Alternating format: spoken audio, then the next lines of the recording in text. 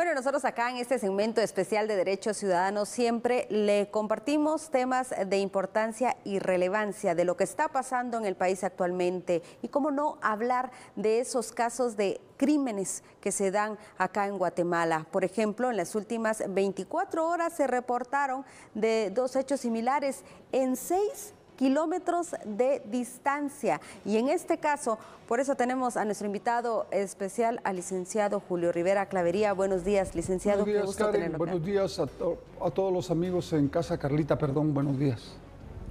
Y en este caso, licenciado, nosotros queremos hablar sobre este tema porque en estas últimas 24 horas se encontró el cadáver de una persona en la ruta a Ciudad de Quetzal.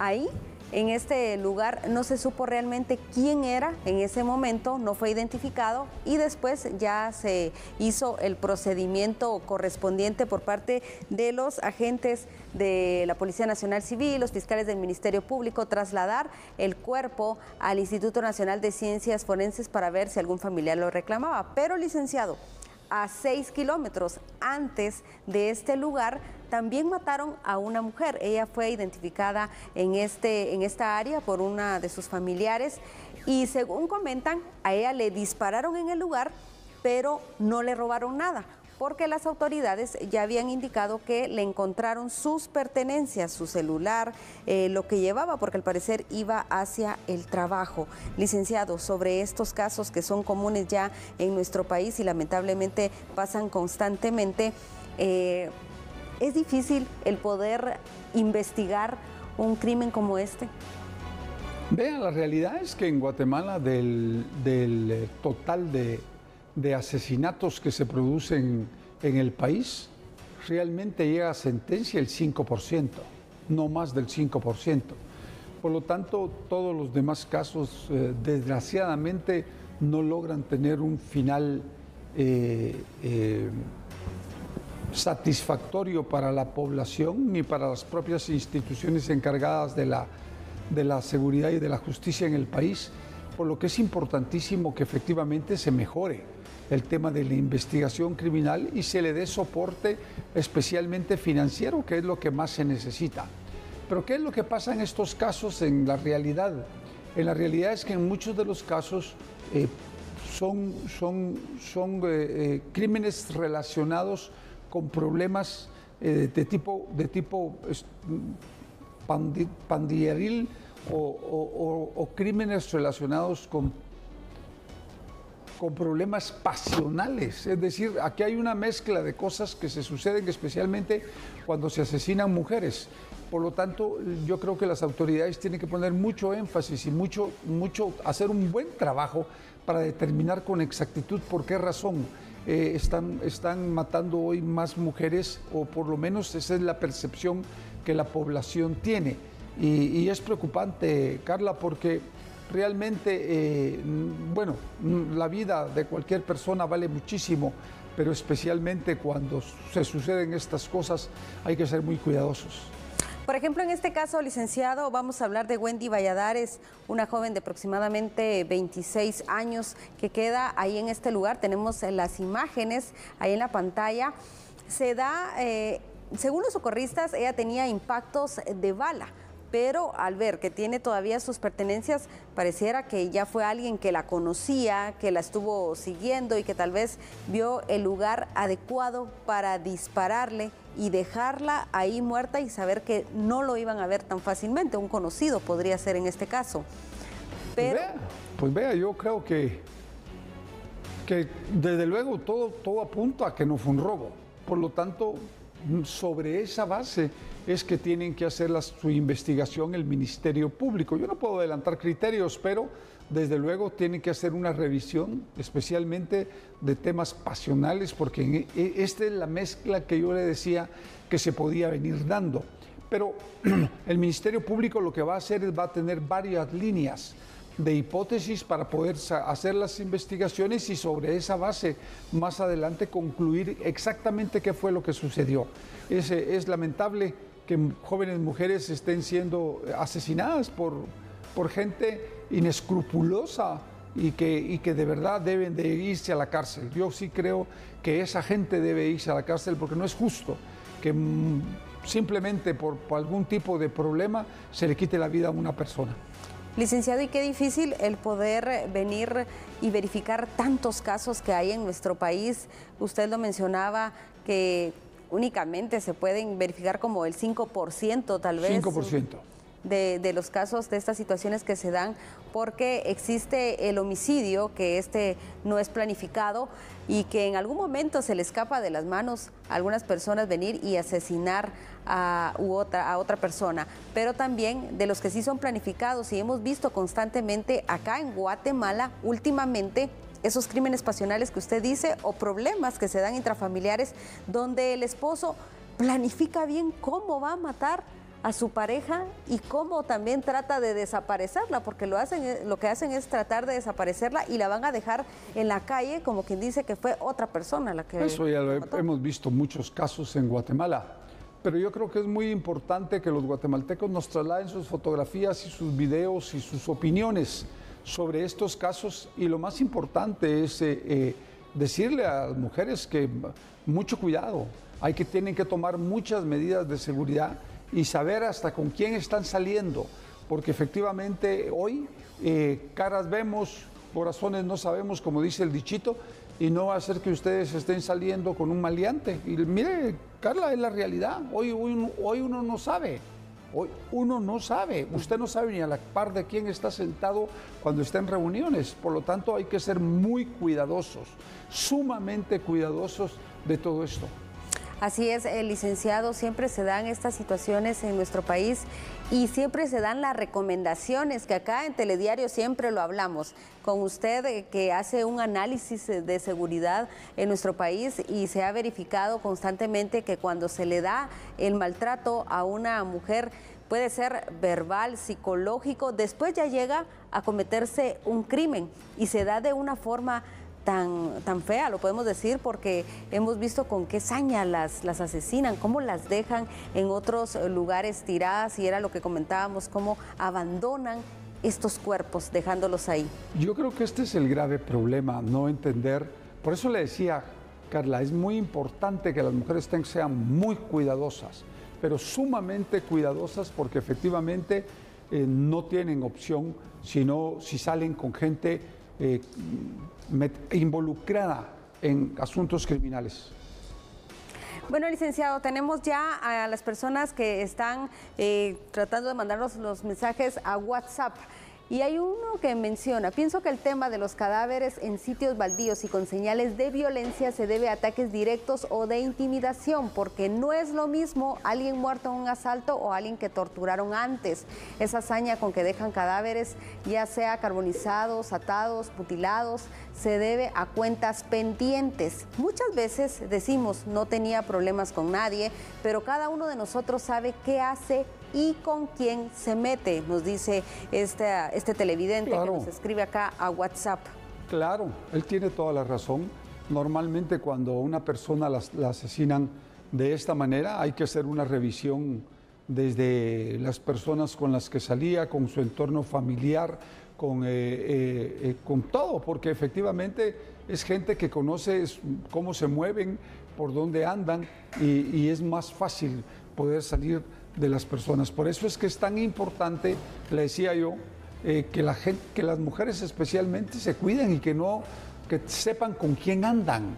Es que el problema es que usted hoy no puede dar, no, no, es como, no es como era hace 20 o 30 años el país. Hoy muchísima gente está involucrada desgraciadamente en temas de criminalidad. Así es, licenciado. Definitivamente eso también es un análisis para que investiguen las autoridades. Otro mensaje que nos llega a la plataforma de WhatsApp menciona, para estos ingratos delincuentes la vida no vale nada. Dejan tirados los cadáveres en cualquier lugar, como que fuera basura. Realmente estos deben de recibir la mayor pena máxima existente por los tribunales de justicia. Igualmente lo creo yo, Carlita, pero la realidad es que al final va a depender mucho del trabajo que haga el Ministerio Público y la Policía Nacional. Si el Ministerio Público no investiga, no hay pruebas. Y si no hay pruebas, no hay sentencias condenatorias. Y no van a haber capturas, no va a haber nada. Por lo tanto, es muy importante. Por eso yo le decía, la inversión en materia de seguridad y justicia debe ser muy grande, pero con transparencia, manejarla con transparencia, porque el resultado multiplica 6 mil asesinatos aproximadamente al año. Por el 5%, 5 por 6, 30, 300 300 casos se investigan. El resto se investiga, pero no llega sentencia, no llega nada. Licenciado, pero también lo difícil que es poder investigar un caso si en el, bueno, por ejemplo, en el caso que vimos anteriormente, le dispararon, pero todavía es fácil de reconocerla por el rostro, porque los familiares llegan, pero cuando los dejan de una forma donde no se pueden identificar es más difícil. Aquí tenemos otro mensaje. Buenos días, señores telediario. Respecto al tema, creo son grupos organizados que cometen estos hechos para crear temor en la sociedad. Es lamentable que se tire a las personas como basura en cualquier lugar del país. Las autoridades deben tener más control sobre este caso. Tienes razón. Es decir, efectivamente, en muchos de los casos, las estructuras criminales, los, los mareros, ellos son los que matan mucha gente y, lo, hacen con el fin de crear miedo y terror en la población, para que efectivamente que plantean una extorsión y la, pueden llevar a cabo. Por eso es que es tan importante el trabajo que hay que hacer en materia de investigación eh, y eso implica inversión pero hay que perseguirlos hasta debajo de las piedras y de día y de noche para capturar a esta gente y no dejarle un minuto, un minuto libre y dejarlos fuera de circulación 23 horas de celda por una de sol. Pero también ahí la denuncia es importante, licenciado, porque si no, no se sabe también eh, a qué personas podrían seguir las autoridades. Otro mensaje, buenos días licenciado, ¿qué se debe hacer si las autoridades y la gente de la comunidad saben sobre los cadáveres que aparecen debajo de los whisquilares y no actúan sobre eso, sabiendo que eh, quién es el que hace el delito? Es una parte en alta de Palencia en plan grande, es decir, que ellos saben dónde están dejando los cadáveres y eh, pues no lo quieren manifestar, según lo que entiendo en este mensaje. Y esto es lo que quieren eh, que, sepan las autoridades para que se empiece un proceso de investigación. Pero es lo que yo les decía, no hay denuncia también. Pero, lo que tiene que hacer, mire, lo que tiene que hacer en todo caso la comunidad es trasladar la información a la policía. No lo quieren hacer en su comunidad, agarren el teléfono y comuníquense al 120 y ahí pasen toda la información de manera confidencial y ahí la tendrán que trasladar para la DEIC o para la DIPANDA o para quien sea pero háganlo porque es la única forma de, poder tener más información y que efectivamente nosotros, eh, la policía, pueda hacer un mejor trabajo y el propio Ministerio Público. Sí, licenciado, porque existen esas denuncias anónimas por si ellos tienen temor, porque al final es... Y, y da resultado, Carlita, dan resultado. Mucha información que llega, déjeme decirle, mucha información que llega es anónima. Exacto, eso es lo que menciona el licenciado para poder apoyarse la comunidad. Otro mensaje, el 90% de los crímenes de mujeres que abandonan envueltas en sábanas, etcétera, o con señales de saña o violencia son de índole familiar por enemistades, pasional o violencia intrafamiliar según dice esta persona. Pues mira, y eso, eso, eso sí no es tan cierto, es decir, no todos los casos son de, de, mm, crímenes pasionales o de violencia intrafamiliar. La gran mayoría de, asesinatos de mujeres hoy está relacionada con la criminalidad. La mujer participa más en la criminalidad, desgraciadamente hay que decirlo, pero también es cierto. Y el resultado es esto. Carlita, el resultado, la Licenciado, hemos visto también en casos que nosotros hemos pasado acá en Telediario, donde se investiga un hecho de violencia, pero no únicamente participó un hombre, sino que las mujeres también participan y hasta en agresiones sexuales. Claro, y no se recuerda usted el último caso que vimos en donde unas jóvenes mujeres habían, estaban desmembrando a otra, a otra mujer y le tomaron video para poderlo subir a las redes. Es decir, eh, eh, también no, no es tan simple. Bueno, tenemos otro mensaje. Buenos días a todos. Buenos días. A todos los que matan hay que ponerles pena de 120 años de cárcel. A los que roban 100 años, solo así se va a componer todo. Pero se necesita que se cumpla. Gracias. Es correcto. Mire, yo creo que en el tema de los asesinatos, en el tema de las extorsiones, en el tema en el tema del secuestro. Hay que poner penas altas. Yo, yo soy de los que creo que no, como no se puede aplicar la pena de muerte, Carlita, pues deberíamos de estar pensando en la cadena perpetua. Es decir, que se queden el resto de la vida y que ahí se mueran, porque no hay opción, ya, ya no hay opción. Eh, la, criminalidad tiene aterrorizada a la población y de rodillas en muchos lugares. Y Creo que es... el licenciado también el problema que algunos han manifestado es que cuando los eh, ponen en prisión, cuando están privados de libertad y les dan una condena, a veces solo cumplen la mitad, entonces rápidamente salen. Por eso le estoy diciendo, pero no hay delitos en los que no hay, hay no hay rebaja, pero eh, en el asesinato, en el secuestro, en, en la extorsión, etcétera. Pero creo que el, si usted tiene, no es lo mismo que usted cumpla 50 años a que usted cumpla, a que se quede el resto de la vida ahí en prisión y se muera ahí. ¿Qué es lo que hay que hacer? Hay que dejarlos el resto de la vida. Sí, porque si tiene 18 años y le dan 50 años, ya a los 68 ya está fuera. Es correcto. Bueno, en este caso tenemos otro mensaje que nos llega al WhatsApp. Buenos días, tengo una pregunta. ¿Por qué los eh, ladrones sí pueden asaltar y matan y si uno se defiende, uno se va preso? Porque así es la ley, lo que plantea es que la defensa propia o la, sea, la legítima defensa debe de ser comprobada. Y para ser comprobada, el Ministerio Público tiene que hacer, presentárselo al juez planteando que efectivamente fue legítima defensa o, defensa propia y sobre esa base pues aún no lo sueltan. Pero mientras que usted le, decretan el, el, sobreseguimiento o la falta de mérito, usted pasa en prisión un mes o dos meses. Desgraciadamente esa es la ley. Por eso es que es tan importantes reformas a las leyes como en México, en donde cuando usted actúa en legítima defensa o defensa propia, le dan la medida de arresto domiciliario. Los asesinos siempre se quedan libres por los jueces, pero ante la justicia divina es perfecto. Nada se puede esconder en la tierra, nada se puede esconder en el cielo. Todo sale a la luz de Dios, nos escribe un, televidente. Bueno, pues, eh, bueno, pues este es, un, este es un mensaje de tipo religioso, respetable y que bueno, pero la realidad es que eh, en muchos de los casos los, los, asesinos van a prisión, pero lo que hay que hacer es incrementar las, las penas como yo lo estoy planteando a cadena perpetua y verán ustedes si esto no va a cambiar.